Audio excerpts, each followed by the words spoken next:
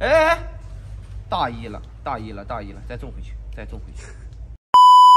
今天给花友们看一下花友们寄过来的花都养的怎么样了。咱们先看贵的吧。这个呢是给我的这个五百多的这个帝王花烛，现在呢马上就破破壳而出，马上就要长叶了啊。有话说长没长根啊？长没长根？这个咱别扒拉开看。有的话说让我侧着种怎么种？其实竖着种也一样哈。另外您可以看一下这边，这边马上要长出来很多的叶子。人家说帝王花一帝王花开百花杀是吧？到时候咱们看一下这个东西长出来这个叶子会不会开花，我都不知道。这一头五百多，就这么一块儿。酢浆草啊，呃，由于前段时间在花店里面养的，就是已经徒长了，都快废了。来到大棚里面以后，光照给足了之后呢，大家可以看到，啊，都长得很茂密啊，有的部分要开花了。我这个养的就是由于缺光啊，你们要不跟我比，不要跟我比，这个有点缺水了。因为你像这四盆花，你可以看到哈，这四盆花的话呢，总有一盆缺水的，对吧？他有的话说，为什么我一块养的一样的环境，总有一个不好啊？你一样的环境，它也不一样。对吧？你像老师一样的老师教出来的，你看你这个学生他有的他就咋咋咋就不行，你这个这这个就麻烦。干了就浇，不干不浇，干透浇透，亘古不变。现在可以追一些肥了，我想给它全剪了，不过我别剪了。还有一个事儿呢，就是长偏了它吧，长偏了以后你给它转一转盆，让它往另外一边长，让它朝着光照长，这样的话就会匀一些。它还是比较害怕积水烂根的。桂花已经开花了啊。开完花也随着长新叶，这个时候，呃，可以加一波肥料了，可以追肥了。这个白锦龟背，那个寄给我的那个花友嫌我这个新长出来叶子太丑了，长出来就不错了。最引以为豪的啊，最引以为豪的大叶伞，已经救活了。你看这个根系哈，我现在都可以滴溜子了，这么多，我就不打开了哈，因为现在还没有长特别牢。怎么样，臭宝开不开心？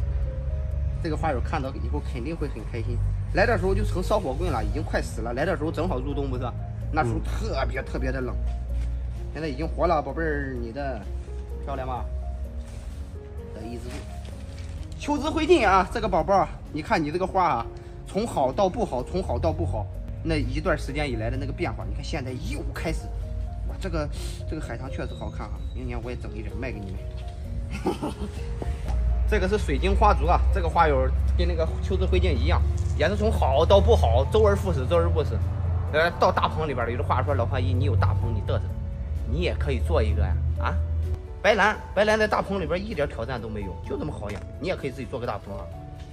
然后呢，现在有一些个有一些个缺乏营养的状态了，你看这个叶子不是那么绿了，该施肥了，因为它现在在开花，白兰花开这么一小朵。满屋子里边都是那种幽香，我勒个去！哇塞！哎，这个沙漠玫瑰，我说要挂了，估计要挂了。有一个养沙漠玫瑰的大神跟我说还能救。如果说您要是恰巧也看到这个视频的话，咱们一起分享学习一下，怎么样给这个花友救活是关键。我给你看一看现在的盆土，温度的话就是我们北方大棚的一个保温，一般保温棚，好吧？看看能不能分享分享，好吧？瑞香，毫无压力。好吧，臭宝，你寄过来这个满是花苞，你要不要？你要，我现在给你寄回去。现在寄回去，我就害怕什么呢？在路上冻死，冻死了你别找我赔就行。我现在给你寄回去，你可以回去赏花，啊，或者说 回去收尸，给他。杜鹃，杜鹃太慢了，太慢了，在我们这儿，好吧？福建那边的杜鹃是比较多。呃，你那个长得怎么样了？啊，那个花友，你那个长怎么样了？昙花太丢人了啊，昙花太丢人了。不过真没事，虽然说养成这个怂怂怂损色了，你看它下面有个要红红的那个把，这个地方呢后期会再长出来新的。我后期我把这个重新修剪修剪，再从头再长吧，得一年的时间。你看咱们原先水培的这个红掌，之前呢是经历过一点点小的冻伤，现在种过来以后呢，有的话说怎么长得那么难看了？谁小时候都好看，你一般收到的那个花正是正值它十八啊，正值它最漂亮的时候，你肯定最好看，你越养越不好看。那还不很正常吗？这个茉莉花要死不活的，现在就是处于一个这种，哎，就是很慢，基本上快挂了。养茉莉都养不好，臭宝，你多翻翻我之前的视频吧。这个毛包皮张彻底回家见姥姥去了，这个彻彻底没有了，彻底完蛋了，彻底完了，臭宝，这个不是出于有意的，哎，大意了，大意了，大意了，再种回去，再种回去。你看这里长了一个新芽子，我大意了，我大意了，我大意了，对不起，臭宝，我大意了。这怎么拔出来，怎么再给你种回去？我以为要死了，你知道吧？好了，再给它摁回去，再给它摁回去啊！没死，没死，或许还能活。我不，我不放弃，不抛弃，不放弃啊！好了，今天的养花总结呢，简单的就到这儿了。小哥说记得点个赞。有的话说，现在还能找你寄花吗？我主要是怕路上会冻死。我现在一直在做一些个评测，在网上去买一些花，咱们不要担风险，让那些有钱的老板去担。